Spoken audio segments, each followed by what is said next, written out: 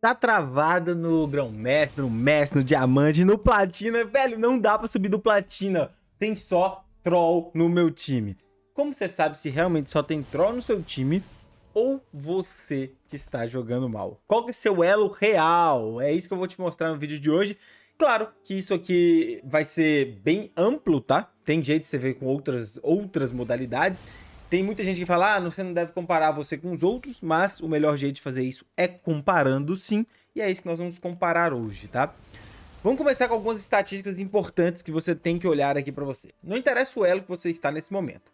Primeira coisa que você vai estar tá olhando para você mesmo, e eu vou te ensinar a entrar aqui agora, é você entrar no seu perfil, tá? Você vai estar tá entrando no seu perfil aqui, você vai vir em estatísticas, vai colocar aqui ranqueado, que é onde você vai jogar sério, e vai olhar quanto você tem de taxa de vitória. Se sua taxa de vitória está de 50%, ponto 5 para baixo, você está jogando mal. Isso eu te falo porque a Riot tende a manter todo mundo em 50.5. Então se você está abaixo de 50.5, você está jogando mal. O matchmake das partidas, tá? Para quem não sabe, ele é feito da seguinte forma. Ele vai pegar a galera que tem mais de 55% e parear com pessoas com 52 abaixo até 50.5. Se você tem 48, por exemplo, e tem gente que tem 48, ele vai tentar te parear com pessoas melhores do que você para jogar no seu time, para que eles tentem te colocar no 50.5. Então, às vezes, quando você fizer a análise de partida, e é isso que nós vamos fazer aqui, é muito legal que você faça mesmo, você entra na sua partida aqui e for fazer a análise de partida, você vai procurar aqui quem está no seu time. Então, vamos supor que vai dar Juju Raio Laser. Entrei na Juju Raio Laser aqui, estatística dela, ela tem 54.5, então ela está pareada com outros 55, mais ou menos, que é a média que, que a Riot tenta manter todo mundo, tá? E, e, ela, e normalmente você vai ficar assim, quando você tá com 55, ela vai manter no 54, a 50, até os 53 ali, pareado com você, tá? Como eu tô com 55, é mais fácil cair comigo desse jeito aqui, tá? Outra vez, ó, 54, é difícil cair um 48 comigo, sacou? Deixa eu ver o lado de cá. Este aqui. 55. Vamos abrir o último. Tá vendo que a Riot tenta parear? Tá, tá todo mundo 55, vamos manter eles iguais. Vamos ver se no time de lá a gente pega um, uma taxa diferente. 57, ó, esse aqui tem 57. Então, é capaz de você encontrar aqui um 52. Você tá entendendo? No meio dessas aqui. Outro 57.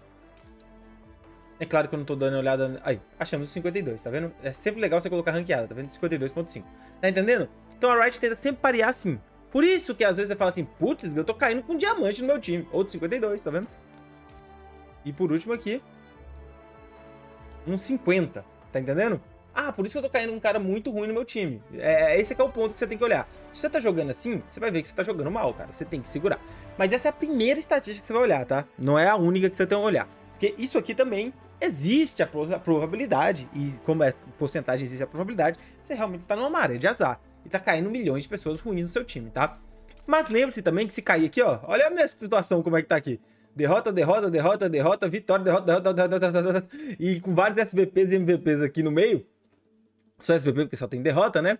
Mas a situação é, você vai, quando você tiver com uma taxa de vitória maior, e aqui eu acho que eu tava com 57, ó, quando eu tava aqui, ó, comecei a perder, não lembro, por aqui, assim, eu tava com 57.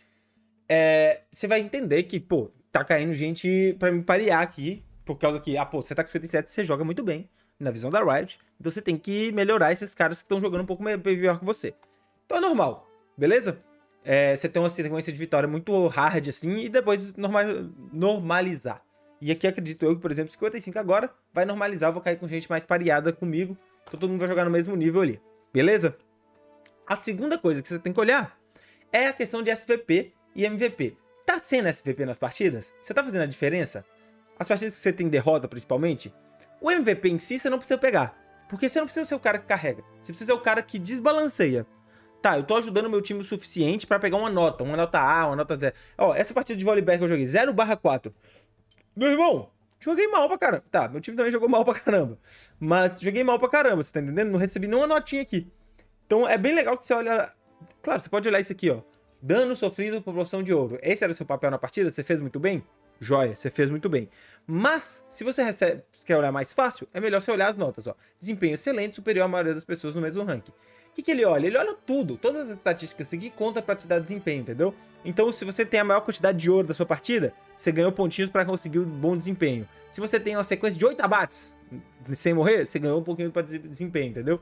E aí cada um tem uma pontuação dentro do algoritmo. Por exemplo, se você dá um pentakill, nem sempre. Jogou mal pra caramba, mas deu um pentakill, você ganha muita pontuação, entendeu? Por causa disso. E nem é seu pentakill, só roubou, por exemplo. E aí você vai ganhar um A, que não é tão válido. Seria melhor você olhar uma por uma. Mas pra ficar mais fácil, receber um Azinho, tá jogando bem, sacou? SVP, A e negócio, tá recebendo isso aqui, sei lá, a cada 10 partidas, 4 foi sua, tá bom, sacou? Porque tem 5 tem cinco jogadores na média. Em tese, você teria que receber duas vezes no máximo, entendeu? Se você recebeu 4, você tá acima da média. Você ainda tá num elo seu, que é real, entendeu? Então, por exemplo, se eu tô recebendo isso no grão mestre, pô, ainda tô num elo que é real meu, entendeu? Para jogar do jeito que eu tô jogando, é claro, né? Tá, vamos agora para terceira classificativa, terceira estatística que é interessante você olhar. E calma que ainda isso aqui é só pra você, o que você aprendeu a olhar suas estatísticas, tá? Depois eu vou comparar elas, aí que vai ficar complicado. Terceira estatística que você deve olhar é aqui, ó. Clicou aqui, você clica aqui. A participação em confrontos de equipe e o ouro por minuto, cara. Essas duas aqui são coisas muito importantes. Por quê? Ouro por minuto não funciona para você que é suporte, a menos que você compare apenas com outros suportes. E aí tudo bem, com um monte de suportes aí. Só que é mais difícil você comparar. Mas, para lanes em geral, ouro por minuto é importante, tá? Por mais por exemplo, eu jogo de tanque, eu give muito gold, eu jogo atrás, eu jogo de weak side, não, não quero o gank do meu jungle e nada do tipo, meu ouro por minuto tá 781, tá vendo? Eu vou comparar ele mesmo com o ouro do ADC. Eu espero que a média fique entre 850 e 750. Menos de 750, você tá farmando mal. Você tá entendendo? Muito mal. Mais de 750, você tá farmando bem. Mas dá para melhorar e 850 para cima, cara, parabéns. Você tá indo muito bem. É isso aí que a gente espera de um jogador que é, é destaque. Participação de controle de equipe é importante também que você tenha ela alta, tá? Mas isso aqui vai depender da do seu estilo de jogo e da sua lane. Então é mais difícil de você olhar.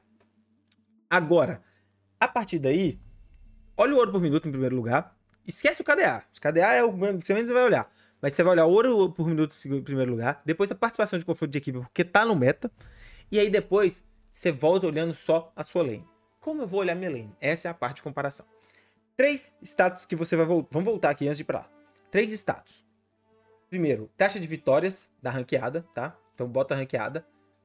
55 é a média, mantém-se aqui no elo que você tá, tá legal. Se você tá com menos que isso, quer dizer que você tá acima do elo que você merecia, tá? Nesse caso. Sei lá, você tá no Challenger, só que você tá com 50% de win rate. Pô, cheguei no Challenger meio arrastado, você tá entendendo? Se tiver 55, tá legal. Você tem que pegar assim. Agora, vamos aqui no... Vamos voltar e vamos comparar. Ah, segunda coisa, SVP, MVP, nota A, tá ótimo. Terceira coisa, você vai comparar as estatísticas. Como que você vai comparar? Você vai entrar aqui, opa, errei, aqui. Vai entrar aqui no servidor, tá? Vai entrar aqui nos monarcas e aqui a gente vai entrar num ponto que eu quero que você preste atenção também, que ninguém te fala, que é o seguinte. Dá pra burlar essas estatísticas, tá? É por isso que você vai olhar as três estatísticas. Porque o jeito fácil de burlar essa estatística é jogando em trio muito bom. Então, se você tem um duo muito bom e você é o terceiro, principalmente você é o suporte, você sobe mais fácil, entendeu? É... Então, toma muito cuidado aqui na hora de analisar. Mas vamos analisar aqui para ficar mais fácil. O jeito mais certo de analisar. Clica no cara, olha a lane que ele tá jogando, é, esse aqui tem tudo pra ser jungle. É, tá vendo? Já o top 1 Xal, o top 1 Nunu, o top 1 Talon, jungle, um platininha aqui, tudo bonito. E aí você analisa. Eu sou jungle também? Deixa eu ver as estatísticas desse cara. Taxa de vitória dele na ranqueada, 60%. Monarca, ótima taxa de vitória, concorda? Perfeito aqui. Análise da jungle, 809 de ouro. Como que tá seu ouro aí? Lembra que eu te falei? 750, 850? 809, muito bom. 62% de participação de equipe, ah, ele joga jungle. Eu jogo jungle? Não. Então tá. Tá legal. E olha o KDA desse cara. Ó, a diferença que ele faz aqui. Altíssimo, tá? Muito bom, mas aí você não precisa comparar. Aí você pode comparar, se você for jungle, dano causado em campeões, dano sofrido em campeões e assim por diante. Principalmente se você jogar com os mesmos campeões que ele. Pra isso, você vai olhar aqui, ó. Você pode entrar aqui, você vai pegar a última temporada e ver com o que ele tá jogando. Ele tá jogando de Nunu, Talon, Shinzal, Garen e... É, Nunu, Talon, Shinzal. Aí Garen 34 partidas é pouco, entendeu? Esses são os três principais aqui na jungle, tá? Então, olha esses personagens, você joga com eles, compara essas outras estatísticas também, beleza? Um bom jogador esse aqui. Vamos voltar aqui para o segundo jogador. Isso aqui nós estamos falando dos melhores do servidor, tá? É muito legal que você faça isso mais pro final da season, tá? Não faça isso muito no início, que fica um pouco desregulado também. Mas no final da season já fica bem mais regulado você vê a estatística. Segundo jogador aqui, 60% de vitória, vamos pra ranqueada, né? 60.9, bom jogador também, a gente pode ver. E bate pra cá. 48%, eu não olhei a lane dele, né? Vamos olhar a lane dele aqui. Ele joga na jungle também. O jogador principal é jungle aqui. É, os personagens que ele joga, de preferência nessa última season, Gwen, Kayle e... Gwen, Kayle, Karen, vários. Bem versátil, né, cara? Ele joga bem versátil aqui. Vários até 49, né? Então, três lanes, uma top laner, um, um ADC e dois jungle, acredito. Essa guerra deve ser jungle, por início da season ela tava boa lá na jungle. E tem um jeito de fazer ela, mas aí é outro vídeo. Estatística, 832 de gold, melhor que o primeiro. Concorda? Bom demais, cara, bom demais. 48% de participação, bom também. O, já o KDA dele já não é um KDA player, tá vendo? Ele já é de 4.2, então ele entra ele entra para fazer outras coisas. É, por exemplo, farmar, que é uma das coisas que ele faz bastante. E ele ganha o jogo. Aí você confere os campeões dele, velho. Dano sofrido, dano em torre e dano em torre. O que, que ele faz durante o jogo.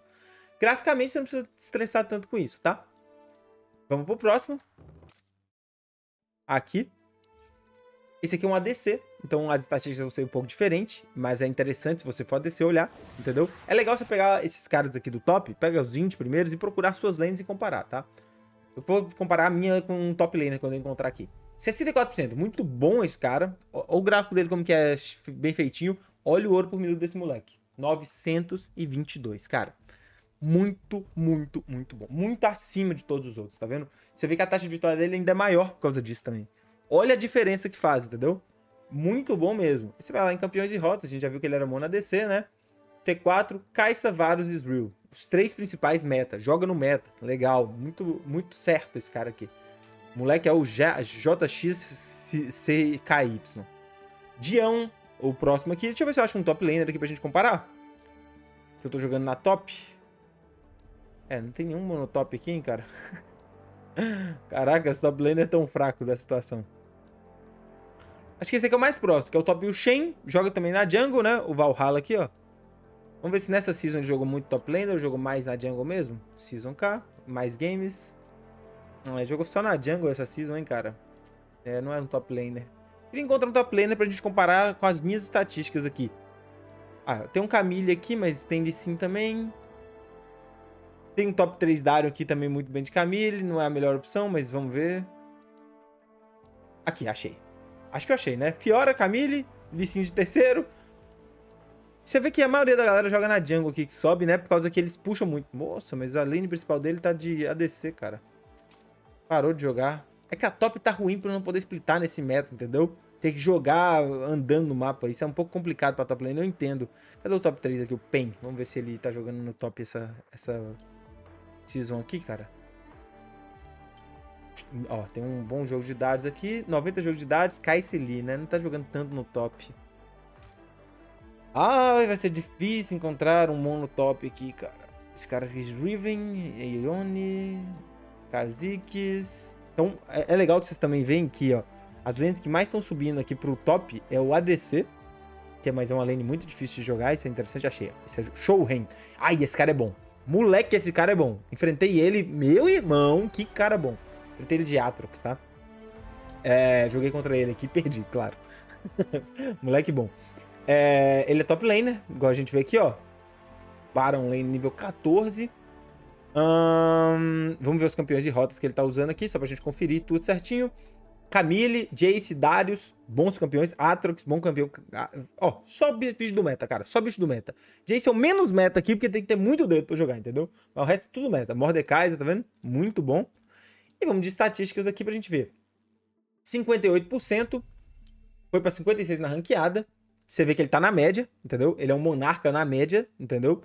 E aqui nós vamos ver, 788, não tão distante da minha, do meu ouro que eu faço no bot. E olha que ele joga com no jogo de tão weak side, ou seja, é bom.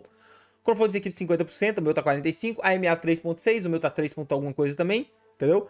Então você vê que, comparado com o melhor top laner, eu tô jogando bem, entendeu? Então, Claro, tem muito para melhorar, pô. A taxa de vitória dele tá melhor, o ouro tá melhor, tá tudo um pouquinho melhor. Só que não tá tão dispareado.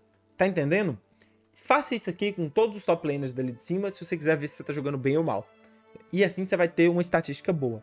Mas, tô com preguiça, não vou fazer não. O que, que eu olho? Três características principais que a gente falou no início de, de vídeo, tá? Ouro por minuto, 750 a 850, entendeu? É, você tem que ficar nessa média. Mais de 850 você tá indo muito bem, igual aquele ADC. Meu irmão, cara farma. Ele é aquele cara que aparece e começa a dar dano que você não entende, entendeu? Caraca, de onde esse cara dando dano? Por quê? O gold é muito alto, entendeu?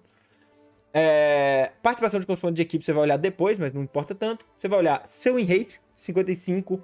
55.0 para baixo, é a, a 55 é a média, 55 para baixo já tá complicando um pouquinho, você tem que subir de novo. Pode estar tá que você esteja na, na, parte de descida, tá? Normal. Tá right te colocando no MMR. E os FVP, MVP e a nota A e S. Fechou? Você vai dar uma olhada sempre nessas paradas aqui. Beleza? É assim que você vai saber qual é seu elo real. Se você tá jogando mal, bem, ruim, não sei o que. Ah, tô apanhando muito, tô melhorando, tenho que melhorar isso, não tenho. E assim por diante. Então, essa é estatística que eu acho que vale muito a pena você conferir aí e me falar o que, que você acha. Fechou? Vou ficando por aqui. Até a próxima. Falou. Fui.